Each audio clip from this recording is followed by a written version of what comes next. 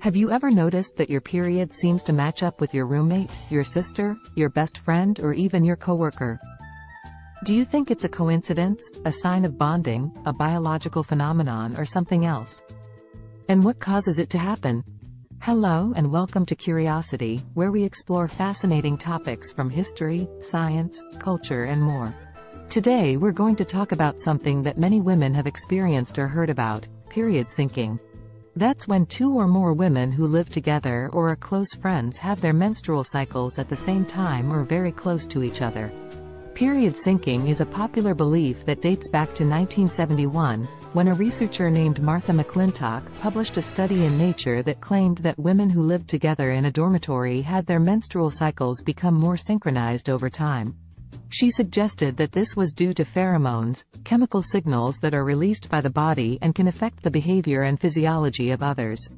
However, since then, many other studies have failed to replicate McClintock's findings or have found contradictory results. Some have even questioned the validity of her methods and data. In 2006, a new study and review of the literature made the assertion that women do not sync their menstrual cycles. This study collected data from 186 women living in groups in a dorm in China and found no evidence of synchronization. So why do so many women still believe in period syncing? Well, there are several possible explanations. One is that menstrual cycles are not perfectly regular and can vary in length and timing due to factors such as stress, illness, diet, exercise and medication.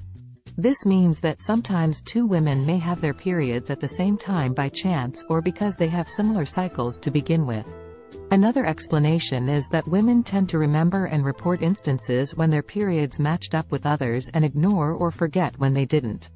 This is a cognitive bias known as confirmation bias, which means that we tend to look for and interpret information that confirms our beliefs and expectations. A third explanation is that period syncing is a social construct that reflects the cultural values and norms of women's relationships. Some women may see period syncing as a way of expressing their closeness, solidarity and empathy with other women.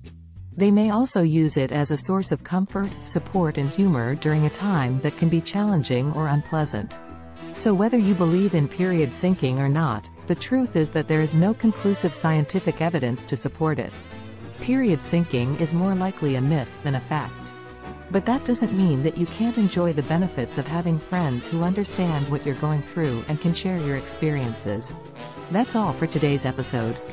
Thank you for watching Curiosity. If you enjoyed this video, please like and subscribe for more content like this. And don't forget to share your thoughts and questions in the comments below. Until next time, stay curious,